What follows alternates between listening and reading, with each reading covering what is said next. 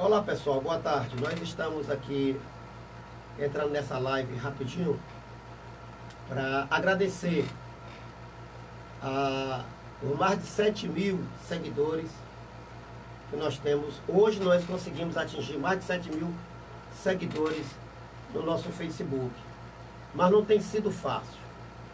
Não tem sido fácil porque muitos são as perseguições. Existe uma organização criminosa que ficam, que ficam por trás dos computadores, certo? Impedindo a gente trabalhar. Você vê que a nossa página, pouca coisa tem, você tem curtido, tem assistido, tem observado. Por conta de uma facção criminosa, de uma organização criminosa que fica por trás dos computadores e nós vamos mostrar a cara desses caras que passam o tempo todinho desocupados, sem fazer nada, atrapalhando o nosso trabalho. Ora, que mal nós temos feito para a sociedade? Mostrando os problemas da cidade, as dificuldades de cada cidadão, a falta de transparência com o dinheiro público, com os recursos públicos. Então, pessoal, nós queremos aqui nessa live agradecer os, os mais de 7 mil seguidores. Ninguém intimou tem, não tem um blog, não tem um blogueiro, que me desculpe os colegas, mas não tem nenhum deles que chegam a 7 mil seguidores. Então a gente quer agradecer aqui nessa live a todos os nossos seguidores e dizer que nós temos sofrido uma forte perseguição por parte de alguns fakes, que nós vamos mostrar a cara desses canalhas, que tem impedido, tem denunciado, que, como a gente tem feito. Não querem deixar a gente trabalhar. Por isso, vou repetir. Você não tem visto muito. Nós passamos de 15 dias com o nosso Facebook fora do ar por conta desses fakes, desses canalhas, que nós vamos mostrar a cara deles, nós vamos mostrar a cara, a tua cara, a cara de vocês. É uma facção criminosa que vive diariamente dentro dos computadores, atrapalhando o nosso trabalho. Mas nós vamos mostrar quem são esses canalhas.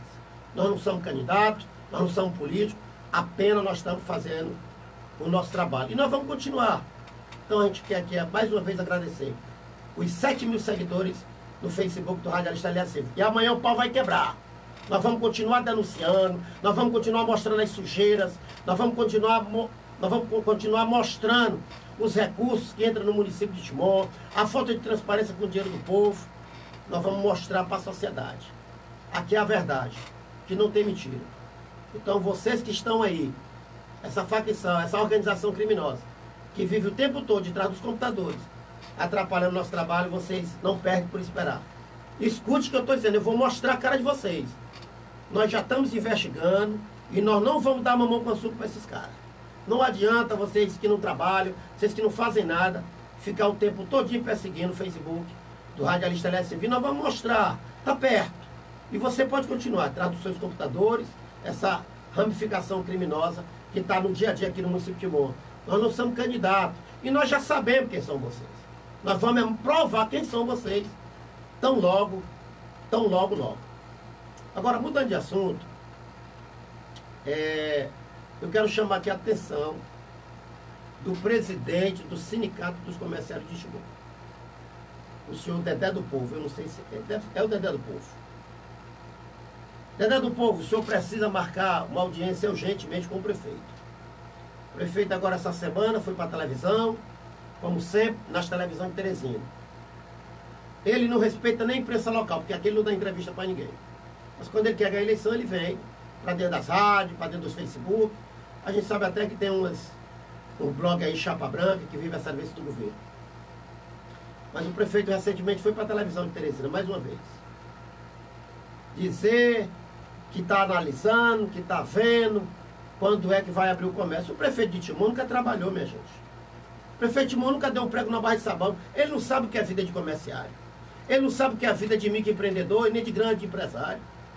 Então, o sindicato dos comerciantes de Timor, Dedé do Povo, o senhor tem que vir a público e defender sua categoria.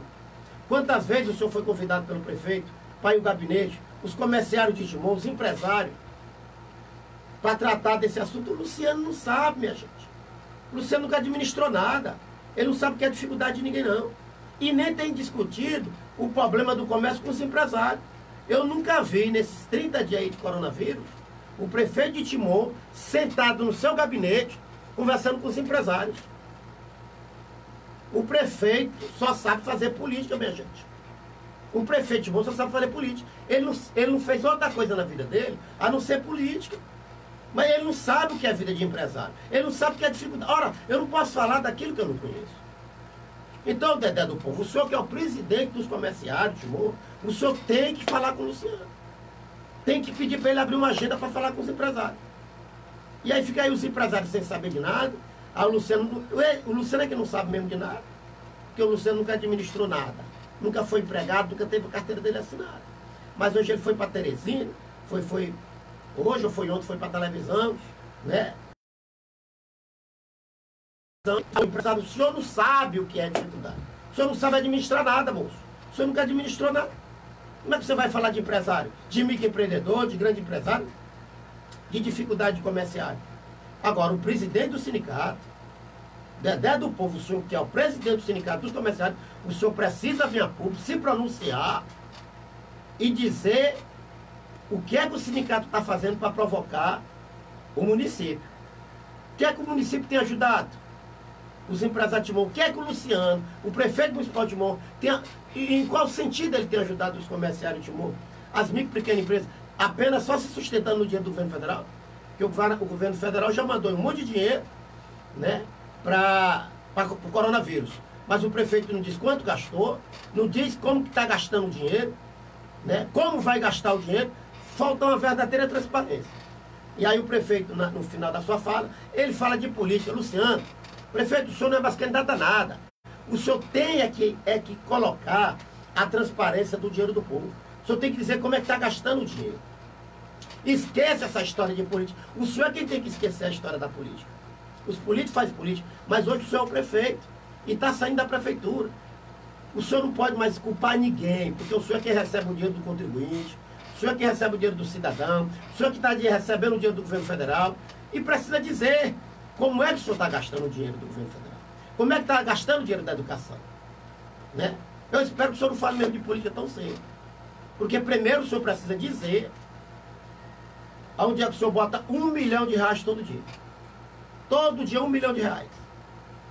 30 milhões por mês. E ninguém sabe onde é que está esse dinheiro. Então, prefeito Luciano, o senhor tem que vir a público e dizer como é que o senhor está gastando o dinheiro do coronavírus, o dinheiro da educação, né? Porque o povo de Timão não sabe. Aí vai para uma entrevista mamão com açúcar, repórter pergunta para ele, ele pergunta para o povo. O senhor tem que vir para um espaço democrático, popular, para receber o questionamento da população. Então, o senhor quer governar a cidade blindado.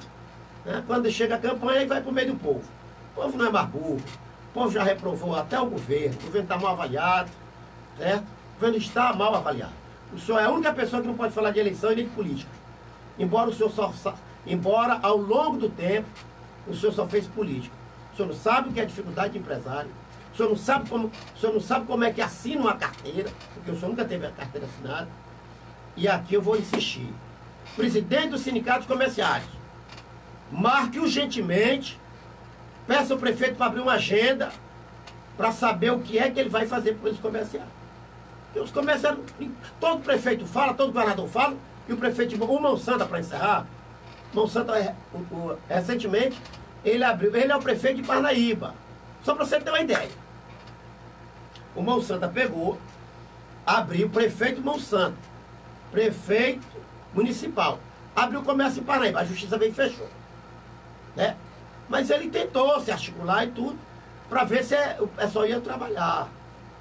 O prefeito tomou essa decisão. O daqui nem diz qual é a previsão, nem diz o que é que está fazendo, nem diz como é o planejamento. Não diz nada. Aí fica aí todo mundo parado. O presidente do sindicato calado.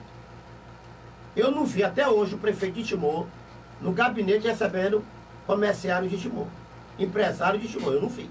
Mas as lojas estão tudo fechadas, está tudo parado. Mas o prefeito não chama no seu gabinete os empresários para ver. O senhor tem que chamar os empresários, pelo menos para ver a sugestão dos empresários. Prefeito, olha, analise aqui, veja aqui, a situação é mais ou menos isso. Então, mas tu, o prefeito não recebe os caras. Abra o seu gabinete, prefeito, e receba os empresários de Timor Receba os empresários de mão, empresário na área da construção, empresário na área de móvel, empre, empresário na área de confecção, empresário na área da, da construção civil. Senhor tem que abrir o gabinete, senhor está com medo. Senhor prefeito até o dia 31.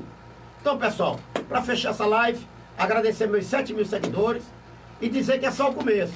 Nós vamos para cima, mas nós estamos perto, estamos de olho nos fake, daquele. E você, rapaz, que vocês que vivem aí o tempo todo, de trás do computador, como fizeram nas eleições passadas aqui em Timor.